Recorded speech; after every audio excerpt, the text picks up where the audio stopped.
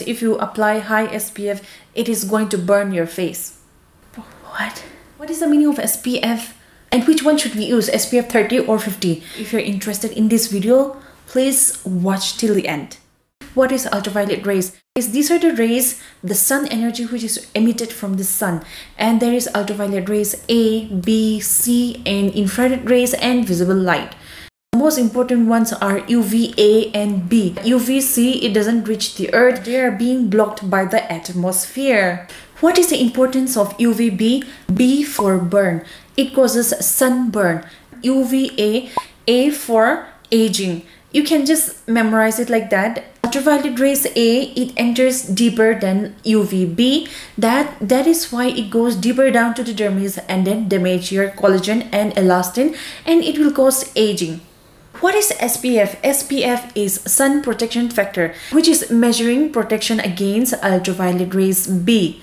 And for UVA, we have PA factor, protecting factor. And what is the meaning of SPF 30? That means, for example, we are applying sunscreen on my left hand side and this side we are not applying sunscreen. That means that if I'm exposed to the sun or ultraviolet rays, this side it will take 30 times more longer than for this side to burn. For example, SPF 15, 15 times more. SPF 50, 50 times more like that. SPF 30 blocks around 96% and SPF 50 around 98% and it is not possible to block 100% of the ultraviolet rays. Therefore, SPF 30 to 50 is sufficient. Using a little bit higher SPF is better because, for example, I applied sunscreen here. I used to do a lab test for measuring the SPF. That means in that per centimeter square, there are 2 milligrams of sunscreen which is covering. For example, if you're applying SPF 30 and you are not applying the correct amount, whatever sunscreen you're applying could be SPF 15 maybe less than half of the SPF which is written on the labeling.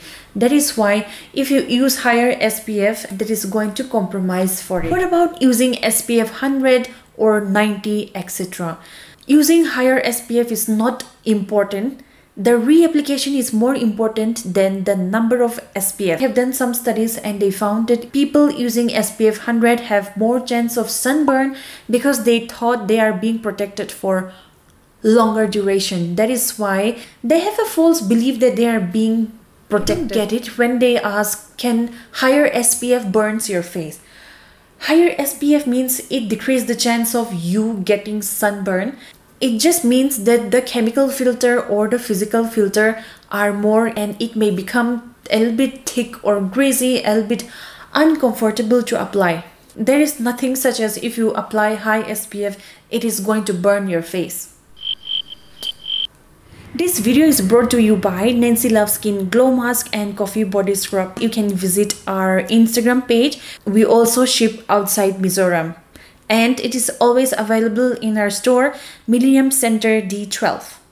What is PA or 3 star, 4 star, blah blah blah?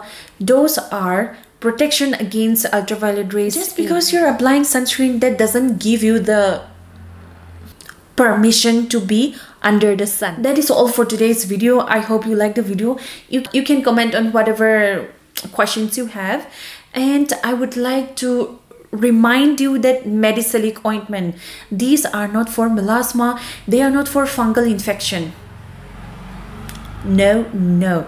Your melasma is going to look even more darker and your skin is going to be like all red.